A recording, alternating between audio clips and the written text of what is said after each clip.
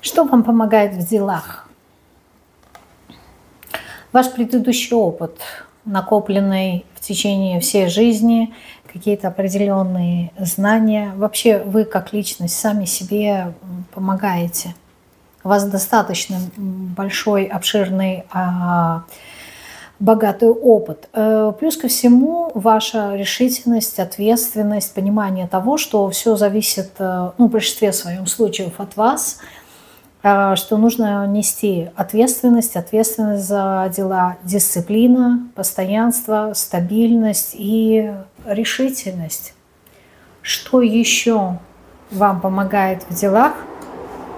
Умение прояснять ситуацию, э, мыслительные какие-то процессы, умение зрить в корень и в очередной раз скажу принятие решений и решительность.